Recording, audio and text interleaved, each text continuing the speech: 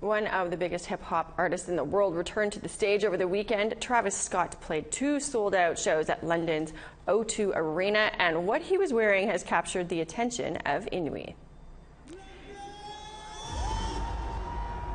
This was the scene on the weekend as Scott descended to the stage. Here's the important part look at those glasses. London's Guardian newspaper described them as futuristic pair of off-white goggles with tiny slits, but the Inuit know them better as igok, traditional Inuit glasses that are made to prevent snow blindness.